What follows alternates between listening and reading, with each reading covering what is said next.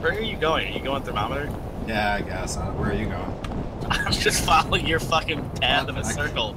I didn't really know where I was going. I've never really spawned there before. That was kind of weird. We're like directly in between both.